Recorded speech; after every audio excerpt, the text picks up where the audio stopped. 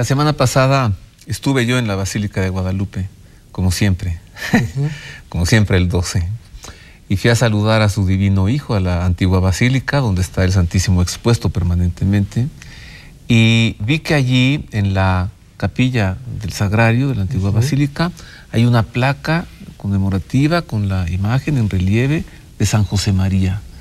Me dio tanto gusto ver esa cercanía de él hacia la Virgen de Guadalupe. Tiene relación y una explicación muy clara. En 1970 él vino a México.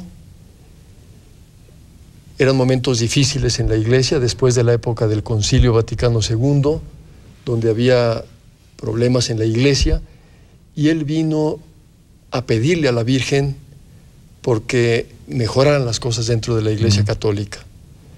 Y vino también a pedir por la solución jurídica definitiva del Opus Dei que se, que se consiguió, vino a resolverse unos años después. Diríamos la bula de fundación, por decirlo así. No, la, bula de erección del Opus Dei como prelatura personal. Mm. Una figura que a partir del Concilio Vaticano II queda eh, definida, incoada por lo menos, y en el Código de Derecho Canónico posterior queda ya constituida como figura jurídica de la Iglesia, figura jurisdiccional dentro de la Iglesia, donde el Opus Dei venía a encajar perfectamente. San José María, él quería entonces, él tenía la visión de que su obra que fundó fuera reconocida o fuera erigida, erigida así como una prelatura personal. ¿Él, lo buscó así? él se daba cuenta de que en la iglesia no existía una figura a la que correspondiera lo que Dios le había inspirado. Existían las órdenes religiosas, los institutos seculares, las asociaciones de fieles, los movimientos, etc. Pero el Opus Dei era algo diferente, algo nuevo. Y finalmente, pues Dios tiene sus mm. caminos, se encontró esta fórmula que la iglesia abre y ahí el Opus Dei encajaba perfectamente como estructura jurisdiccional dentro de la Iglesia, constituido por sacerdotes y en su mayoría laicos, ¿verdad?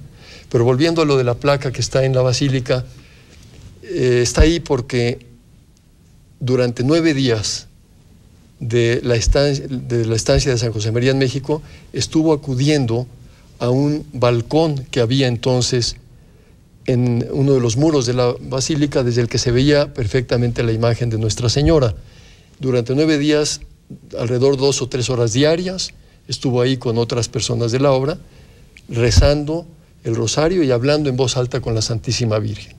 Para él fue importantísima esa, esa novena de, oración con la Virgen de Guadalupe y por eso en la entrada a, a lo que era entonces ese, esa tribuna está la placa eh, que, que, tú has visto.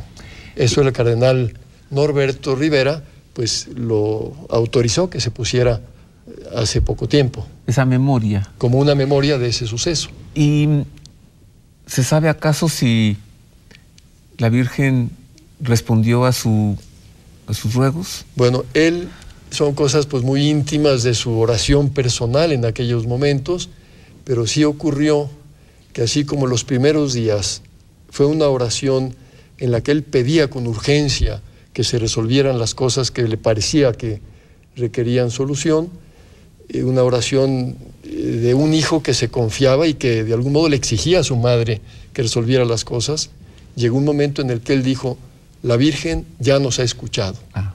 Y tuvo un cambio en su actitud de total paz, alegría y celebración, porque estaba segurísimo de que la Virgen ya lo había escuchado. bueno, eso es hasta un ejemplo para quien tenga una necesidad. Todos tenemos confiarnos en esa madre que nos protege y nos conduce.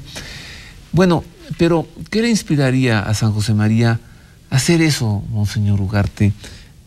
Cruzar el océano, venir a México y confiarle esto a la Virgen de México, a la emperatriz de América. Claro, bueno, e-, era precisamente la fe que él tenía en Dios y en la Santísima Virgen como el camino más directo para llegar a Dios. Él decía, el camino más corto para llegar a Jesús es María.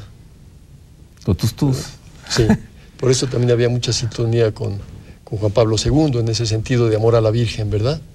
Y entonces, pues fue la actitud del hijo que dice, tengo que ir con mi madre, que en México pues dejó su, eh, en la tilma dejó su, imagen, se apareció realmente y él creía plenamente en la Virgen de Guadalupe y pues vino a confiarse en ella. ¿Y cómo es esto que pasó a la vida eterna ante una imagen de la Virgen de Guadalupe? Bueno, también es significativo que estando en México, en un momento dado le dijo a un miembro del Opus Dei, mirando ahí el, un cuadro de la Virgen de Guadalupe, le dijo, así quisiera morir yo, mirando a la Virgen. Y su muerte ocurrió cuando un día entraba a su despacho de trabajo, tenía ahí una imagen de la Virgen de Guadalupe, miró a la Virgen y cayó al suelo. O sea que aquella petición de morir viendo a la Virgen de Guadalupe se la cumplió Dios nuestro Señor. Ya sabemos de dos cosas que le cumplió. Así es. La prelatura personal y morir así.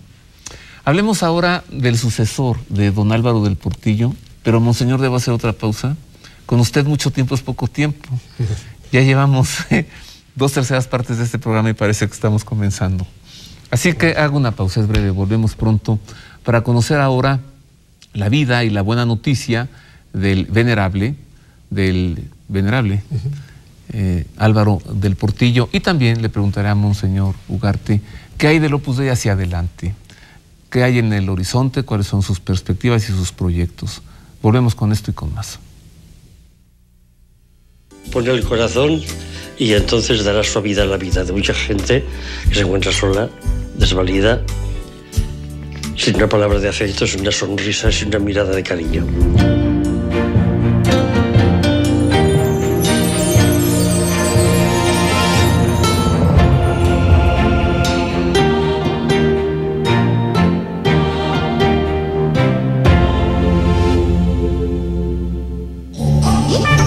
Ocasión del Año de la Fe, peregrinación por los lugares sagrados en El Crucero de la Fe, que zarpa de Barcelona para visitar, en el norte de África, la ciudad de Cartago, cercana a Hipona, de donde fue obispo San Agustín, los puertos púnicos, el Teatro de Adriano, el sitio del martirio de las Santas Perpetua y Felicitas, las ruinas de la Basílica Domus Sus Caritas y la Catedral Bizantina de San Luis.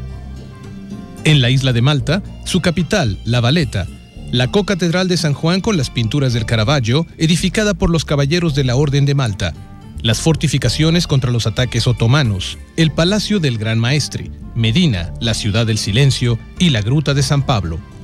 En Sicilia, el puerto de Messina, la ciudad taormina, el Teatro Greco, la Catedral de San Nicolás de Bari, la Iglesia de San Pancracio, discípulo de San Pedro, la Iglesia de la Anunciación y el volcán Etna. En Nápoles, la antigua Pompeya sepultada por las cenizas del Vesubio, el santuario de Nuestra Señora del Rosario y el centro de Nápoles. En Roma, las basílicas de San Pedro, San Juan de Letrán, Santa María la Mayor y San Pablo, el Vaticano, la Basílica de San Pedro, la tumba de Juan Pablo II, el centro de Roma y la iglesia de San Silvestre. En Pisa, la Plaza de los Milagros, con su catedral y la torre inclinada. En Florencia, la Catedral de Santa María de las Flores, el Palacio de los Medici, la Plaza de la Signoría, el Palacio Vecchio, el Museo de los Uffizi y el Puente Vecchio. En Barcelona, el Monasterio Benedictino de Santa María de Montserrat, la Basílica de la Virgen Negra, patrona de Cataluña, la Basílica de la Sagrada Familia y el Parque Güell. El viaje cuenta con preextensiones antes de Navidad a Tierra Santa, Turquía, Fátima y al Santuario de Nuestra Señora del Rocío en España. Informes a los teléfonos 4980 86 41 y 9171 7020. El itinerario se encuentra en www.viavaticano.com.